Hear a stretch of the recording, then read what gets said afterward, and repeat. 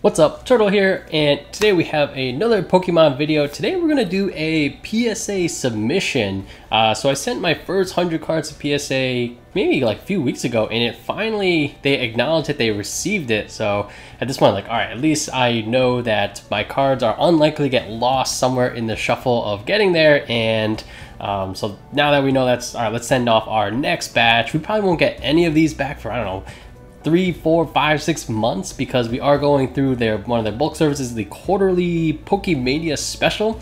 All right, so we have tons of cards to show here. Uh, I didn't even count; it's in the hundreds. And uh, so right, let's just get right into it. They're kind of all over the place in no particular order. Basically, everything that is probably declared value less than 100, it's like, all right, we'll just submit them now at the quarterly special rate, and then we'll just save all the cards that are worth more than that, and we'll send those later on. Alright, beginning, we're starting off with some Hidden Fates, just going through the shinies. Basically anything I thought could be a 10, you know, assuming like um, that is something I actually want. Uh, just planning on sending it. So we got Inkay, you got the Eevee, the Rainbow Birds. Actually, I want to talk about birds, a different art of the birds later on. And then we got some shiny GXs, Ninetales, Gardevoir. Wouldn't mind uh, getting some more of these to send in. Ho-Oh, Kartana, and a random E-Series card, Blossom. So uh, anything that is not like, I don't know, 2019, 2020, I mean, very unlikely we'll get a 10. Uh, so I think I can send this in the bulk submission. I guess this maybe this, actually this maybe could get a 9. But I think the declared value is fine. Not being over 100. The first actually first 100 cards I sent, uh, I think a lot of them will get dinged for like not dinged, but uh, they'll charge me more because like, look, you submitted this under the wrong category, uh, therefore you're gonna get charged extra. But uh, these I'm a little bit more uh, confident that I did correctly. Alright, you're gonna see a lot of these guys. So you guys know I love Japanese promos and these screams is like top tier. When I first saw these that they existed, I just went on eBay. Alright, how can I pick these up? And not surprisingly, the price has gone up quite a bit. So we have a Pikachu right here, and I believe we have a couple copies for here. And again, these are I didn't order these very well. Uh, basically going through my collection, all right, let's add these. And then, all right, let me add some more of these screams just so I get them all graded. A Red's Challenge from Unbroken Bonds. You know, not a very good card, but uh, has red on it. So I figured we'll get that graded. And uh, we have another Japanese promo, the Poncho Pikachu featuring Mega Charizard. Uh, this one, I think even if it got a 10, I maybe this could be, they could say like declare value is over 100. Alright, we got some WotC stuff, base set. So base set, when it comes to, like, if I kind of doubt we have any 10s, if 10's like, hey, look, you have to pay extra for the 10, like, I'm sweet. I, I'll take that. Um, I imagine a lot of these are kind of like, maybe even like 8s or 9s or something, but this Poliwrath looks pretty good. But we do have some base set. We have Zapdos. Moving on to Jungle. I feel like base through Fossil is kind of, and to some degree Rocket is the most nostalgic for me. That was when, you know, I was definitely collecting as a kid the heaviest. And then this Wigglytuff is actually a, a no symbol, which is pretty cool. Moving on to Fossil, we got the Magneton, Aerodactyl, another legendary bird, I'm not sure what that dot is. Alright, moving on to Rocket, we got a Weezing. Alright, we do have two first editions, but it's just a Muk and a Weezing. I think um, one of these was actually, I think the Muk was in from the deck that you could get from the uh, theme deck as well. Alright, still in Fossil, we got Ditto, Articuno, a random base set 2 Hitmonchan. Okay, back to, uh, this is Ultra Shiny GX, not Hidden Fates, as this is the Japanese printing. I feel like right now there's somewhat of a market for these. I'm not sure, kind of like once we get over this whatever potential bubble, this all this hype that's going on right now, um, how that'll kind of be because we won't get these cards for back for like I don't know four months, uh, but we'll kind of play by ear. I'm basically submitting the cards that I would probably keep anyway. So we got a Glaceon. Basically, we got a bunch of evolutions in here. All right, we got a. This is the 108 out of 106. We got a secret rare Mega Charizard. Very cool. A gold Bulu. Two gold Bulus. if you guys have been with the channel for a while, we pull, whenever we pull gold cards out of Hidden Fates, there's like a 50% chance it'll be a Bulu. And if we pull a full art supporter, there's a 50% chance it'll be a hiker. All right, let's keep going. Oh no. All right, these I think actually are already submitted, or I typed them into the order, uh, so I will have to make sure I got the order correctly. Hitmonchan, back to base set. Again, the order is gonna be all over the place, but we got a few of these. Machamp, oh, back, this is like the first thing we ever played with. The two-player starter deck thing, which uh, had Charmander and Machop. Uh, didn't have a Charizard, obviously, but did have the Machamp. And it's always first edition. Nidoking from base. Ah, more Screams. You'll see a lot of these guys. So here we have the um, the Eevee, the Rowlet, and then the Psyduck. So we have a random set. Back to E-Series, we got an Azumarill. then back to Hidden Fates. Ooh, Darkrai, very cool.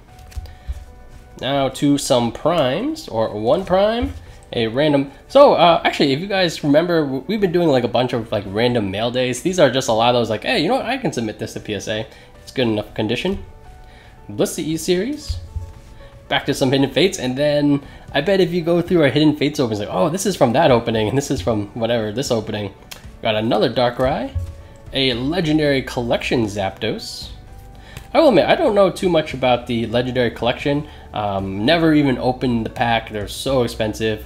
And we do have some reverses, uh, but then, you know, I'm not too familiar with how the holos are doing in the market. Base set 2, I feel like that's the... If you just want something vintagey and cheap, the answer will always be base set 2. And probably it's not the best prospect for future growth. I feel like base set 2 is just like the... Uh, the the middle child that no one cares about, I guess. Gyarados. And a Poncho Pikachu. Oh, Japanese promo is so good. Alright, we got some Neo cards. Magneton, when they introduced the Steel type. Celebi. Ampharos. Forretress. Hitmontop. I think this is probably the first appearance of Hitmontop, and I do like that art. Back to Ultra Shiny GX. Just some cool cards. The Shiny Rayquaza bunch of these. Leafeon, Golisopod, and then a Ho-Oh. Alright, we're maybe halfway through, so this this is going to be a bit of a lengthy video. Alright, Alolan Ninetales, Greninja.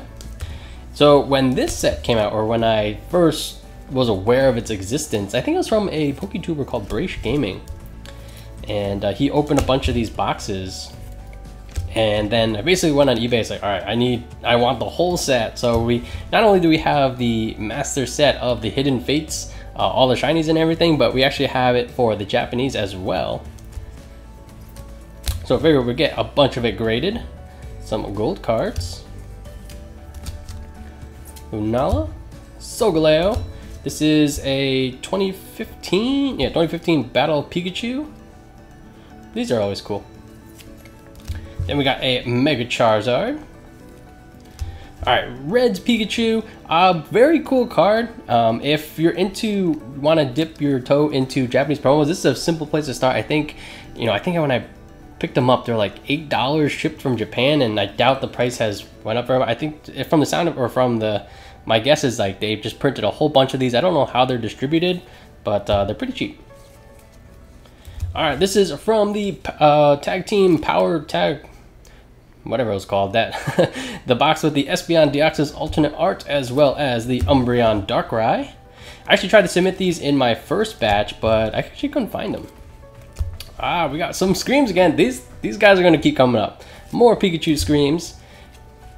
Basically, I kept going back to, all right, is there anything else I want to get graded while I'm at it? While I do have this quarterly special, I was like, all right, let's submit some more Scream cards. Some more Rowlets, Psyducks, and then Eevees. Alright, and that is our first stack. And we do have one more. Let's put this off to the side. Alright, so at this point, we actually ran out of card saver ones, which PSA tells you to send them in with. And I couldn't find it. I can't find it Amazon, couldn't find it like BC or B DCW, whatever the website is. Uh, I could find card saver 2s, which are bigger, And the only, actually, the only place I could find the Card Saver ones was from PSA, but the like the shipping was like sixty dollars. I was like, oh, forget that. So I did go with Card Saver twos. Now these are significantly smaller, significantly more difficult to get the card in and out. Uh, so a lot of people just kind of put like a tab thing that you could kind of tug on to help get the card out. So hopefully that will prevent any problems. And here we have another very cool. This is one the Pokemon Center uh, when they open it. I think in Japan they have really cool promos. This is funny. It's like a Pikachu talk show or stand up? I'm not even sure. Then we have, I think this, is this like a Sakura Blossom Pikachu? Very cute. All right, back to Hidden Fates. I think this is our, from one of our most recent openings, a Lycanroc. This is, I believe, a tea ceremony. Uh, you might recognize this picture. We used to use this playmat for a lot of our videos. We got the, I think, Saito. Uh, I, I thought this is pretty cool. Um, still haven't seen the movie, and I'm not too eager to, but I feel like it's really rare when you have like a actual IRL person in a card, so I figured, you know, we should have at least one of these in our collection. Gengar Prime, actually one of the more difficult cards to find, so even if this is this wasn't in great condition, I figure we'll still get it graded. Gengar E-Series. Gengar is one of the more popular Pokemon more legendary birds from Hidden Fates. And we still have some more Hidden Fates. Ah, here we go. With some GXs. Another Rainbow Birds. Alright, so in case, if you guys didn't see our last Pokemart, you know, these guys have become, at least on TCG Player, it seems like a lot of them have bought out. So when I did pick up my uh, raw copies for the, the entire set. I figured, you know what, these ones are probably good enough to be graded. Maybe I'll get like an 8 or something. Maybe we'll get a 9 here or there. My guess is mostly 7 or 8s. But we do have a bunch of these. And we got most of the arts. Another Rockets Mewtwo. This is cool. Uh, the picture is actually smaller because this is the first card, I believe, that had three attacks. Electrode GX. Yes, there is no no order whatsoever going on here. And I believe this is still Heart Gold Soul Silver. Um, I figured I'd pick up some of the holos on TCG Player. The prices were pretty cheap considering that they're from 2010. And then when I got them, you know what, these are good enough to be graded. And the cheapest bulk service makes sense. Can't imagine there's much of a market for these. But I do like that Magmortar. It's probably a Mega Man. Shaman? Manaphy? And here we go back to Hidden Fates. Your boy Guzma. Fisherman. Fisherman is one that I keep pulling whenever we would do so like the Korean boxes or the Japanese. We pulled a lot of Fisherman. Cynthia. And another Evolution. These are super high in price right now. Altaria. In regards to, you know, this is not a Pokemon episode, but uh, was watching like a TCA video, and he kind of, he has like a lot of history, historical, um, data points from his own experience, he was kind of saying that towards the summer is when things kind of drop off as people go on vacation. Uh, so maybe just the amount of money they spend on cards goes down. Uh, so, you know, definitely we missed the wave, but uh, let's get our cards graded. And Evolutions is way up there as far as Hidden Fates uh, demand. All right, let's keep on with the Hidden Fates. Bunch of non-GXs. All right, Stained Glass Birds. I think in a Pokemart where I was so confused about the price of the ETBs at the time, I believe it was a $6 card on TCG Player. I, as of the filming of this, they are completely sold out and they're going on eBay for like $30. That's so crazy. And the product costs 50 MSRP and then the promo without any of the packs is going for 30. So weird. Alright, more primes. Absol. I think a lot of these we do already have in like PSA 8 or 9. And I again, I doubt we'll have any 10s from any of this older stuff. But uh, they are a good enough condition to be graded. I am starting to get more and more fond of these primes as I look at them more. And we do got some evolutions. Yanmega. Celebi, Electrode. I think we already did some Donphans, but there's another one. Yeah, so some of these are repeating. Another Rainbow Birds. This is like, what, four Rainbow Birds sprinkled throughout this submission. And then some promos. Actually, when I looked through the promos I had, a lot of them were kind of like off-center, So I had to find the ones that I feel like, all right, this is actually kind of well centered. A random XY Mewtwo, but I love that art. All right, this is the last stack. Definitely my favorite art as far as Reshizards go. Uh, Expedition Charizard, very cool card, but this is the reverse. And then this Mewtwo Expedition is a non-holo altogether. And I think we'll wrap up with some Hidden Fates. Oh no, we're gonna wrap up with some Scream promos. So was like, you know what? Uh, I still have more of these, but they're actually in the original uh, seal sleeve thing. Uh, so I figure, I think you can actually get those graded with the sleeve in it, but uh, you can't do it through this submission uh, level. So these were all the ones that were not in there. So I figured, you know what, let's just send the rest of our screams in there. A lot of these, because I picked these to not send initially, they're a little bit off center. So maybe a bunch of these, most of them will probably get nines for centering issues. But during the quarterly special, I'm not sure how often they do it. How often do have Pokemon ones? Uh, so might as well capitalize on this opportunity. So a majority of our Scream Protect Scream collection, not including Mimikyus because those go for crazy prices or would have to do like one of the better higher up services. We'll get them all graded now. All right, so that is our PSA submission. What kind of a, this will be a bit of a time capsule video.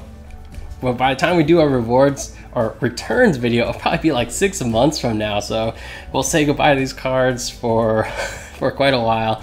And um, yeah, if uh, yeah, you actually if you know where to find those cards ever was, let me know in a comment down below because definitely once I start submitting some more expensive things, definitely want to send it in like the best way possible. So if you have any tips, any advice, let me know.